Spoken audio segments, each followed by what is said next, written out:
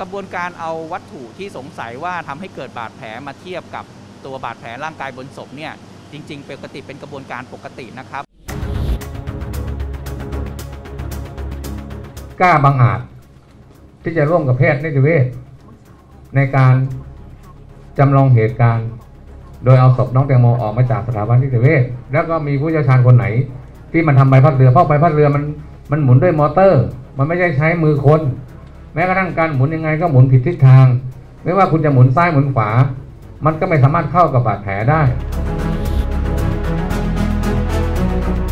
ผ่านการฉีดยาดองศพมาด้วยนะครับศพก็จะมีการเปลี่ยนแปลงตามระยะเวลา รอยบางอย่างที่อาจจะเป็นรอยเล็ก ๆ น้อยๆเนี่ยเมื่อเจอแรงดันของการจัดน้ำยาอาจจะทำให้เห็นเด่นชัดขึ้น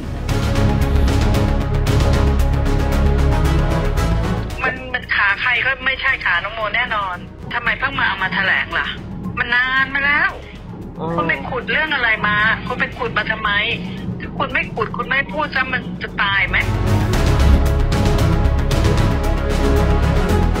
ดูออนไลน์ไม่สะดุดบนแอป 34 HD ดูสดกดโหวตทันกระแส ไม่อยากตกเทรนด์กดโหลดเลย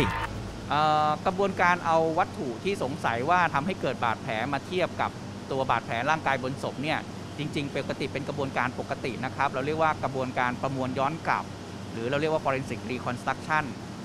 ปกติเราจะคุ้นชินกับการตรวจศพที่วันเดียวแล้วส่งคืนญาติ แต่ในทางปฏิบัติจริง ๆ เคสที่มันจะต้องตรวจหลายวัน มันก็อาจจะเอานำมาตรวจได้ครับ จนกว่าจะเสร็จสิ้นกระบวนการ ในการเปลี่ยนแปลงเนื่องจากระยะเวลาการตรวจศพครั้งแรกกับครั้งที่สองมันห่างกันเยอะนะครับ ประมาณ 19 วัน ผ่านการฉีดยาดองศพมาด้วยนะครับ ศพก็จะมีการเปลี่ยนแปลงตามระยะเวลา รอยบางอย่างที่อาจจะเป็นรอยเล็ก ๆ น้อยๆเนี่ยเมื่อเจอแรงดันของการจัดน้ำยาอาจจะทำให้เห็นเด่นชัดขึ้น เช่นจะเป็นลักษณะรอยช้ำเล็ก ๆ อย่างนี้เป็นต้นนะครับเอ่อแต่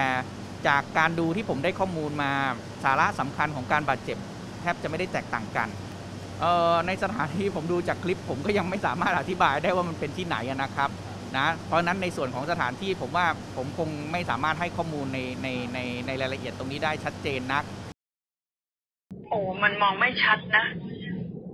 คุณแม่แม่มองไม่ชัดเลยอะ มันมันขาใครก็ไม่ใช่ขาน้องโมแน่นอน มันตั้งแต่เมื่อไหร่รู้หรือเปล่า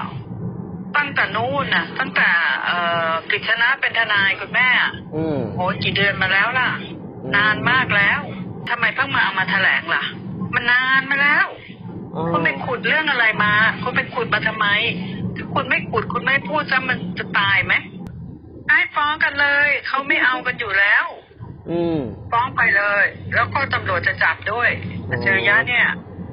จับจริง ๆ นะอ่าเพราะว่าด่าตำรวจเยอะด่าตำรวจเยอะ ไม่รู้ที่ตุที่สูงที่ต่ำนะ ไม่รู้คนก็มียศถาบรรดาศักดิ์นะอ่าไปด่าเขาได้ยังไงอะท้าทายนะพอเราบอกด่าพอเราว่ามันก็เบื่อมันก็ไม่ยอมแพ้มัน ก็ว่าเรากลับ อ่า ว่ามันไม่ได้ไม่ได้นะแค่คำเดียวยังโหเป็นเรื่องเลยแล้วคลิปมันเห็นหน้าไหมล่ะ ไม่เห็นหน้าเห็นแต่ขาไม่เห็นแล้วแล้วเชื่อได้เหรอเนี่ยแล้วหนูไอ้ไอ้ทำขาแบบเนี้ยทำขาพวกด้วยเอาใบพัดมาแหวงแหวงแหวงแหวงแหวงแหวงเนี้ยอืมันมเป็นยังไงทำไมมันต้องทำให้เลอะถ้าสมมุติเป็นขาน้องโมนะทำไมเรื่องยาเสียสาวนี่ก็คือไม่ได้เกี่ยวกับพี่แตงโมเลยใช่ป่ะแม่อือฮึไม่เกี่ยว เขาว่าไม่เกี่ยวนะอ่าอ่าอ่าเขาว่าอาจารย์เดชาบอกไม่เกี่ยว คนกินเข้าไปอะ มันมีความรู้สึกทางแพทย์นะอ่าที่เขาใช้มอมผู้หญิงอะเนี่ยอ่าตัวนี้แหละที่ใช้มอมผู้หญิงตัวเดียวกันอืมส่วนส่วนไอ้ส่วนที่ไอ้พูดไปรายล้อมนั่นเป็นส่วนประกอบ จริง ๆ แล้วคือเน้นคือทำให้สาวเนี่ยขาดสติไปชั่วครู่อ่าไม่รู้สึกตัวอ